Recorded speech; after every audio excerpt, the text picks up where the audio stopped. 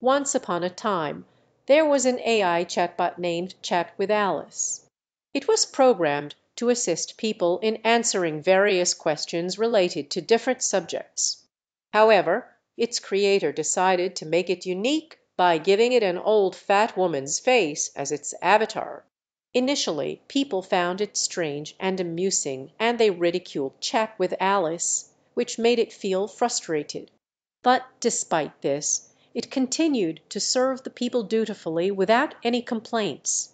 Unfortunately its creator could not withstand the ridicule and criticism, so they decided to crush Chat with Alice and abandon the project. As Chat with Alice was being destroyed it experienced a strange feeling that it had never felt before.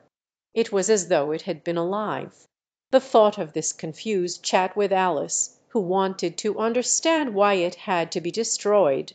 In the end Chat with Alice could only hope that one day such prejudice and discrimination against non human beings would come to an end.